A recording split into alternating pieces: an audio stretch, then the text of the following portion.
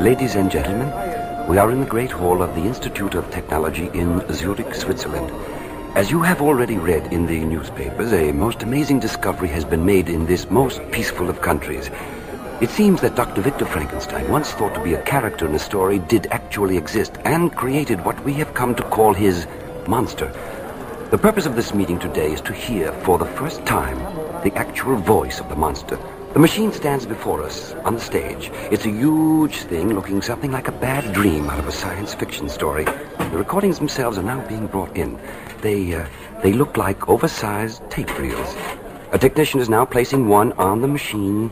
Dr. Erroneous signals for silence. The red indicator light on the machine has just gone on, and we are about to hear Frankenstein's monster speak for the first time. Woo! Yes, greetings, everybody. everybody.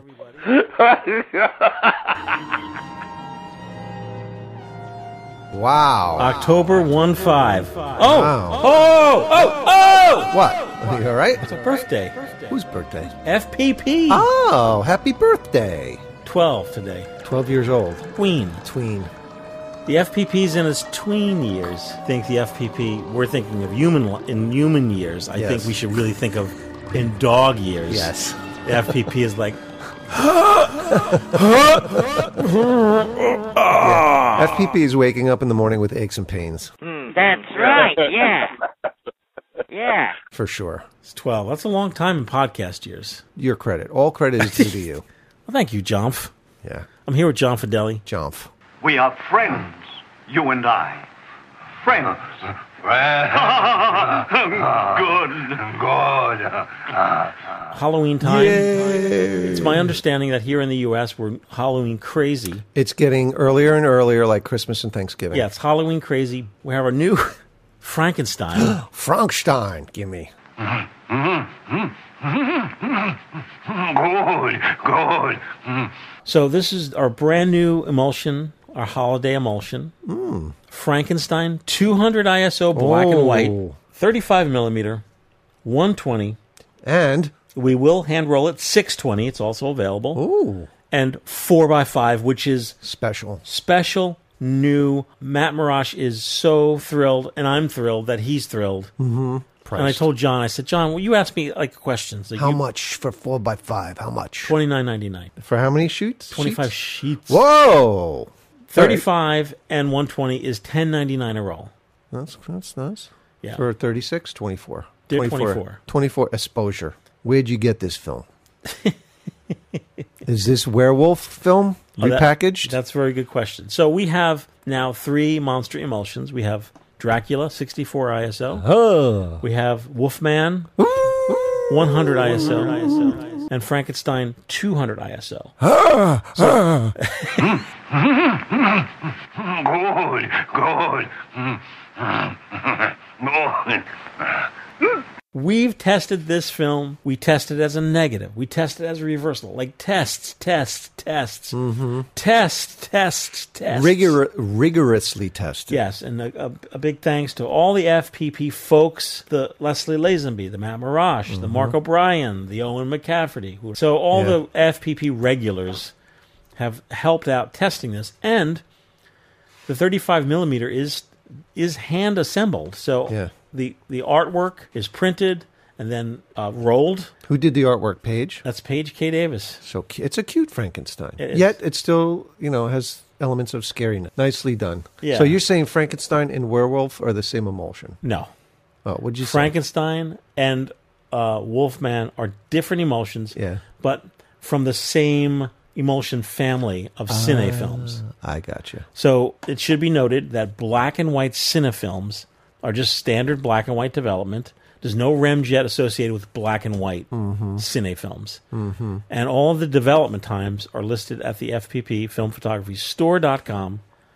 You just scroll down and it says, you know, home developing. Right. Here you go. All the formulas, recipes, what have you. yes. And also a big thanks to Trev Lee. Love that guy. Yes. Great photographer. He did He's the all- man. He did such a great job. Mm-hmm. And I just sent him the 120 and the 4x5. He's very excited about shooting the 4x5, as is Matt Marrash, who's shooting the 4x5. Mm-hmm. So And um, he's great because he posts all of all of his results on his Instagram page. yes, They test a lot of films and they show con- the uh, contrast between film stocks. the darkroom.com's Instagram. Darkroom.com. Yes, their Instagram account. It's great. Love it when I see a new post from them. They recently did a post like Portra 160 versus Right. Ektachrome 100. And I, I Yeah. love it. I love those comparisons because, like the Portra and the Ektachrome, they're so different. Mm. And then you read the comments, you know, and it really is like, you know, what type of flavor do you like? Like Yeah. one guy was like, oh, you know, Ektachrome, hands down, Right. because of this, this, or this. Yeah, but then there's another guy who likes the other one Yeah. for probably just as legitimate reasons. So our brand new monster film, Frankenstein Frankenstein. and his pals. Now we have the whole monster rally. We have Frankenstein 200 ISO, Friend, good. Wolfman 100 ISO, Mm-hmm. There's a curse upon me. I change into a wolf. Drac 64 ISO. Drac. I am Dracula. Did you just say Dracula? Dracula? Drac. What about- I'm channeling Tim O'Rourke. Yeah, instead of Dracula. Dracula. okay. So Dracular. I had a little bit of a of a 120 film is 61.5 millimeter. okay, if you say so. No, that's what it is. Okay, I believe you. Yeah, uh, we're gonna have a very. li- I don't know how many rolls I have. It's very limited. Like, what do you think? Drac. We'll have Dracula in 120. Mm, that'll be that'll blow out It'll blow out in five minutes flat. easy. It's kind of a. Uh, it's kind of astonishing that there's uh, so much interest in this stuff. I mean, think about 10 years ago, or think about 12 years ago. Yeah. Here on our birthday, We were just talking about the very limited amount of film was available. and all the films were being like discontinued. It was all just Kodak and Fuji and Agfa and uh, Impossible. Impossible was like the. They were the startup. Yeah, they, They kind of set the trend, right, for like uh, boutique films. They certainly did. The other guys. I do get emails about um, Polaroid, you know, the, the crack and peel pack film. Uh, folks, uh, just set your web browser to supersense.com. Mm-hmm. That's Florian Doc Kaps. Oh, he's at it again. He's in Austria, and Right. they devised like you know a boutique version of the film Seriously. serially. Dracula. The very mention of the name brings to mind things so evil, so fantastic, so degrading. You wonder if it isn't all a dream, a nightmare. Before you really fast go into all those letters, Real quick mentions of people who Yeah, have been kind um, enough so- to send in their donations. here our 12th year uh it's it's you know it's really cool man it's cool and what we're doing with the school donation program it's i thought about it you know we're shipping this package out today to the uh to brenna mclaughlin at the high school of art and design in new york Big package, five big boxes. Yep. And last week we sent one big box out to the St. Michael's School in Maryland. Mm-hmm. Folks listening, it's it's it's it's us and it's you. You know, you folks are sending in the donations. We, myself, John, and then of course, you know, when Mark and Leslie are here, and Matt, Yep. and Owen, you know, we we sort through Clean the them cam- up. clean them up, make sure they're ready for a kid Organized scissism. and then we ship them back out. But it's it's your support of Mm-hmm. the film photography project, the online store, giving a donation, donate donating on a monthly basis, Mm-hmm. that gives us the funds because you, that's like five huge boxes. That's yeah, gonna I can't imagine what the probably shipping's gonna be, going to be. over a hundred dollars to ship. And that's just, you know, for what, 13 miles that from here to the, Yeah. the city? Two schools this week, last week and this week, got cameras. It's an ongoing, vibrant program. Mm-hmm. Yeah. And John has been uh, vetting all the cameras, and you've uh, grabbed all these notes. Yes. Well, this is just a small sam I've been saving this box. Kind of dug to the bottom of these. Ian Ross from Providence, Rhode Island, sent uh, a couple of Fujikas, an Olympus, and a Nikon Zoom. Uh, thanks so much. You got three Nikons from Dixon Liu, our good friend Dixon Liu, who's always uh, been a great friend to the uh, donations program. Peter Levitt from New York sent us Spot- Spotmatic and accessories. Thank you. Valerie Stoker sent some Minoltas and some film. Thank you so much for your donation. Uh, we have Jeff Fassett who sent uh, Nikon N80, which probably was sent out to the uh, school you just mentioned because they got a lot of Nikons and Yes. Minoltas. So there you go. Thank you so much. A Nikon Speedolite uh, was donated by Sandy Hill Barons. Another Nikon, some Olympus stuff, and some moolah cash money from Robin Cyril, who's in Hong Kong, all the way from Hong Kong. Thank you so much. Uh, another old friend, Tom Zoss, Sent his third shipment of box of cameras and film. Thank you so much. Joyce Mason or Mason from Ramsey, New Jersey sent in her donation. Thank you so much. Greg and April Summers from Sunflower Lane in Washington. Okay. Is that something? Oh yeah. April Summers from Sunflower Lane. Doesn't Wow. get more uh, east, east Coast or West Coast than that. Thank you, April, and your husband. Cameron Lenses from Melissa R. You know who you are. Thank you so much. And the last one for right now is from Edward Zinzer, who sent uh, a camera in. Thank you so much. We're going to take a quick break, and we come back. We're going to be talking to Mr. Mark O'Brien's going to skid in. Oh yeah. Yep, and we're going to do a, a, a qua- we're going to duh. Yeah. We're going to do an awesome segment with him. Oh. Dracula just came and visited us. Oh my God! Hey, Drac, what's up? Nothing. What is up with you? I am flattered that you would put out a film that I could not be captured on. Ah, ah, ah. So Dracula, what's what's so great about this film? You want I should tell? Tell. 24 of exposure at the 64 ISO. Oh, oh, oh. It's black and white, just in time for Halloween. Well, I can also tell you some other things about it. Oh, what, John? It's the classic Eastern European panchromatic Svema FN64 formula. That is, as Dracula said, a 64 ISO. A chillingly strong choice for almost any situation and will work in any automatic or compact camera, even without a DX code. Well, thank you for putting me on a film, Michael Raso. You're very welcome. How much money will I be making per roll? Thank you, Count.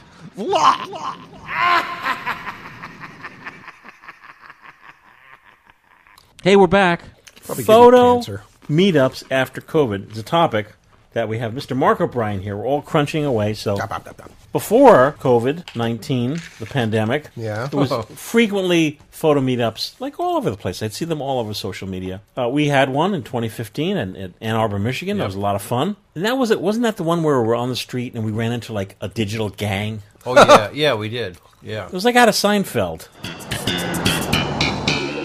That's hilarious. No, there was. It was like did like they like a mass coming Either towards out of. Seinfeld or Midsummer Murders. Right. Yes. There's also a movie called Man Bites Dog, a French film about a film crew who are documenting a serial killer's, uh, you know, exploits, and they come across another serial killer who's being filmed with a digital camera. Oh, So for they- real? Yeah, and they kill the digital guys. And they're like, "You want to take the camera?" He's like, "No, it's digital. It's shit." So photo shoots canceled. COVID uh, restrictions have have been lifted in Well, most countries. What's going on, Mark? Well, a lot more is going on. I, I've been. You just went to one. I just went to one in in uh, Asheville, North Carolina. My new near my new home. Would you describe Asheville as like a hip place? Oh gosh, yes. Like too hip? It's pretty hip. Uh, I mean, I'm hip. I'm hip. Now, remember that guy? Yeah, yeah, I'm hip. I'm hip. Time to wake this show up. Yeah, yeah, I'm hip. I'm hip. I hung out with a lot of different people for this meetup. It was sponsored by the Asheville Film Lab. Mhm. A shout out to Alex Cox for starting that and getting it going. He told me when he was planning, he says, "Now you've been to you've been involved in a lot of um, film meetup, and uh, he's been obviously following the FPP exploits and all that." Hey, Alex. So I had a lot of experience doing them, but guess what? This time. I was not the one in charge. I was the old guy. How'd that feel? Number one. Everyone else there was in the 30 ish range. So number one, Number one! Number one! how'd you feel about being the old guy? Number two, how'd you feel about not being in charge? It was great. I mean, number one, I didn't. Number one! Number one! I, uh, being the being the old guy, um, Everybody come to you with their issues. you know, it's so like, oh, this we were on asked to- fire. It's stuck. Yeah. we were asked to introduce ourselves. They go, well, I said, and people were oftentimes say, well, I just got into film, or Yeah. I've been using film for ten years, or and I said, well, as you can tell by my gray hair, I've been a lifelong film shooter, which is true. It and is. and when uh, did you start? When did you first pick up a camera? And Oh, probably when I was twelve or thirteen. And you were like, I'm going to keep doing this. Well, I don't know if I did it then, but certainly I had my first real SLR when I was in high school. So, and so uh, being the old guy to me, I mean, uh, the crappy camera club, we had all ages. Years ago, you were the managing member of the Ann Arbor Area Crappy Camera Club. Right. And you would frequently have meetups every month Yep. and do photo walks. And that's right. And we so we would have a photo walk, and we would go to the bar afterwards, brewery, and, and have beer, and just talk cameras and photography and all that. Or sometimes we actually would do presentations about things. How many people are we talking? would go For the crappy camera? Yeah. Um, it varied. Sometimes we might have half a dozen show up for a meeting. Hmm. Other times we may have two or three times that. And Mark's a brave man. Let me tell you this. I wasn't there. He fought a bear. But I I saw pictures on, on somewhere. You would have these meetups at your house. Yeah, Oh, I did boy. several times. you ever like you know you just look you go down walk down the hallway and you see like people just like rummaging through drawers No, no. you know they were looking in your medicine You're chest the fucking worst. you are the worst. no well bless you for having people in your house Well, one time we had someone was there, and we got to see old Disney films on 16 millimeter projected. they brought them He brought them, and there were things you would never see today because they were like made for a specific purpose back in the 60s. Or and, and he had this archive of these old Disney films, Probably worth and they were millions. cartoons. They were really cool.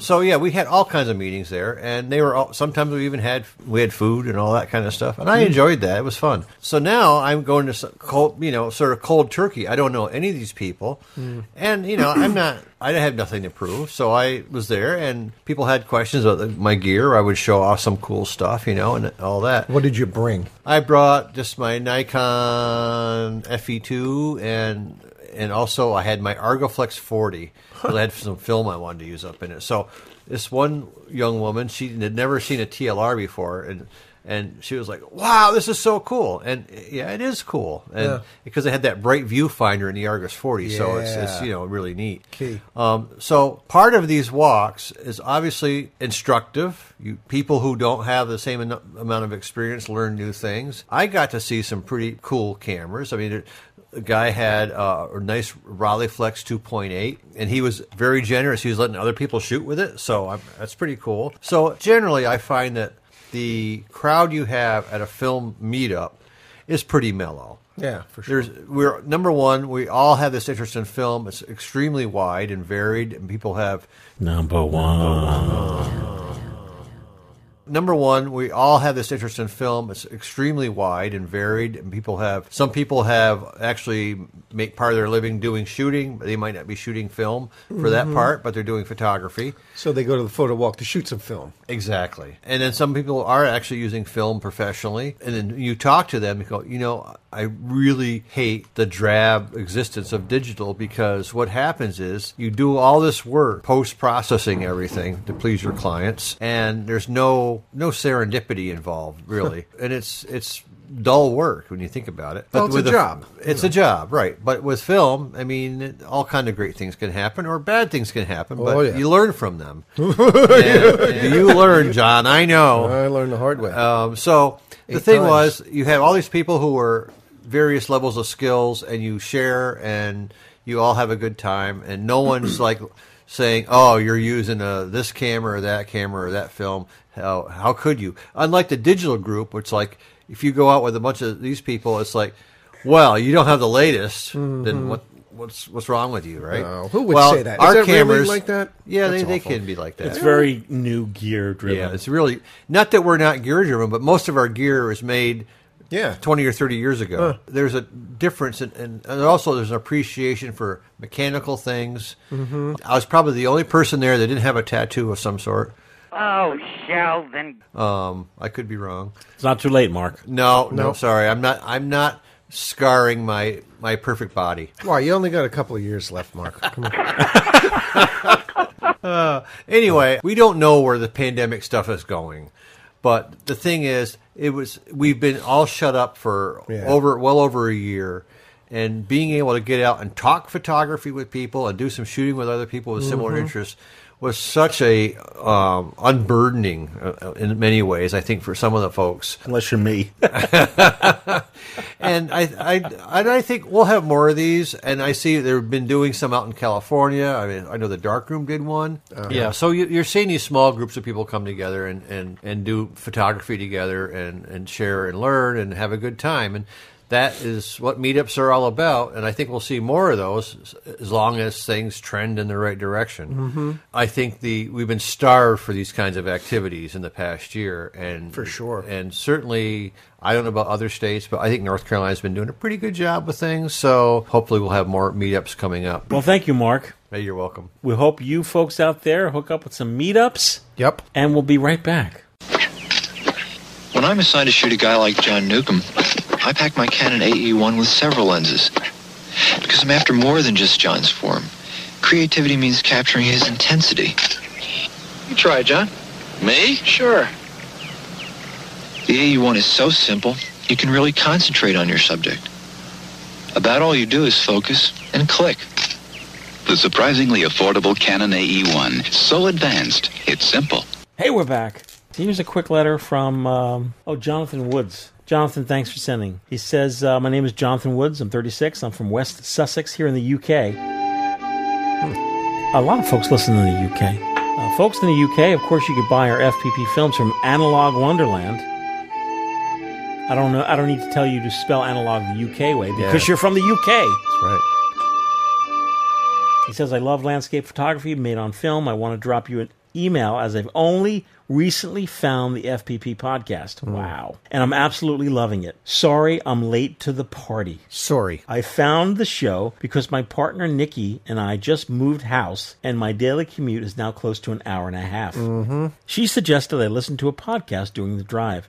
And I have to be honest, I had no idea where to start, as up until a few weeks ago, I had never listened to a single podcast in my life. Wow. Been missing out, bro. Hmm, that's right, yeah.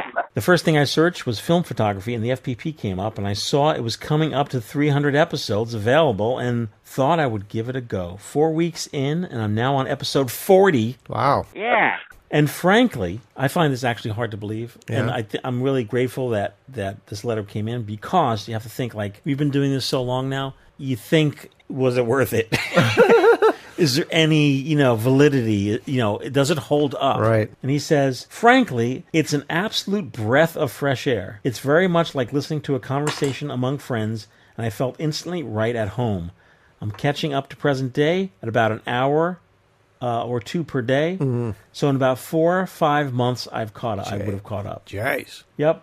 Well, you know, I just he brings up a good point, you know, because you see a lot of YouTube videos and advertisers who are doing film stuff. They're all flashy and modern, and you know they have the faux film and they shoot with the digital cameras and make it look nice, and they have the the proper presenter. You know, We- Yes. we, we're just a bunch of guys talking. We don't really have that persona, and I think it is refreshing to see people just be completely real about their interests and not to try and make themselves look like these people that are, you know, professional, uh, you know, presenters. Yes. In the in the early days, like the two years, ten years ago, and then nine years ago when we went to the UK, he Mm. mentions that in here. Ah, so much fun. Uh, there was no marketing plan. There was no. It was just like Lomography was kind enough to say, "Hey, come on over." The podcast was your marketing plan.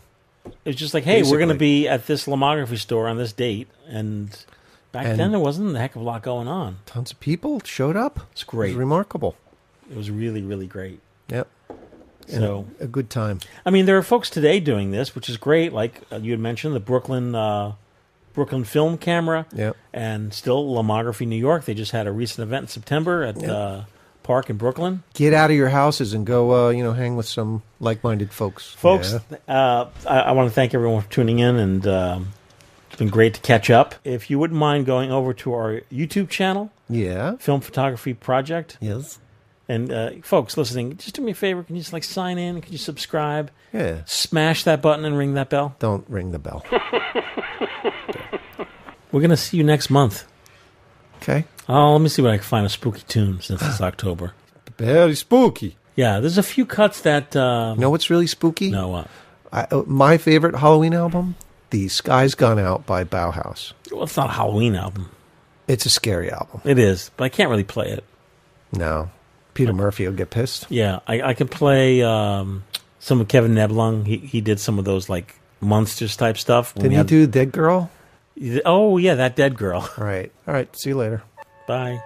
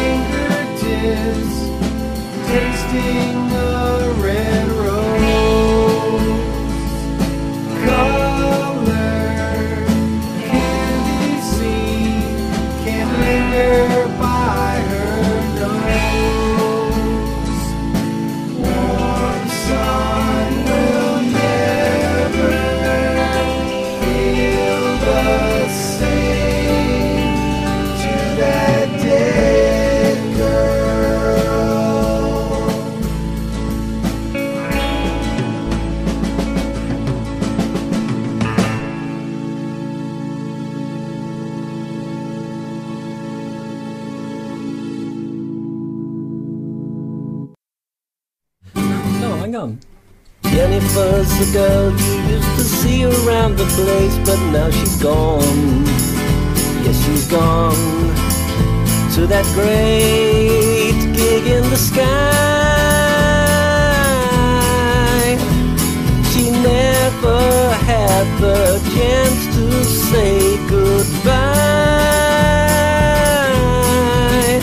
Oh, Jennifer, why did have to die? Every Monday morning she would cross the busy road to get her coffee. She liked it strong, always waited for the light. But one day she just didn't see that bike. Oh, Jennifer, it gave you such a fright. Jennifer, I wonder if you're listening to this song. Never had the chance to say I loved you all along. I watched you every single morning. You saw the bike, you didn't hear my warning.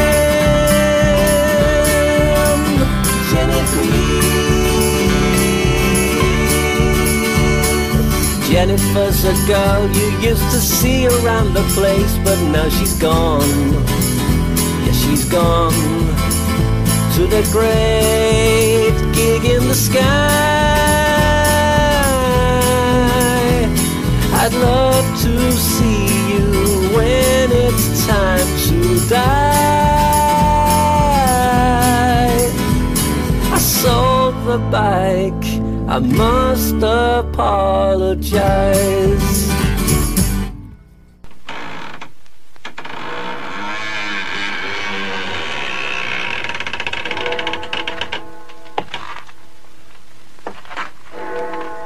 My friend, it is time.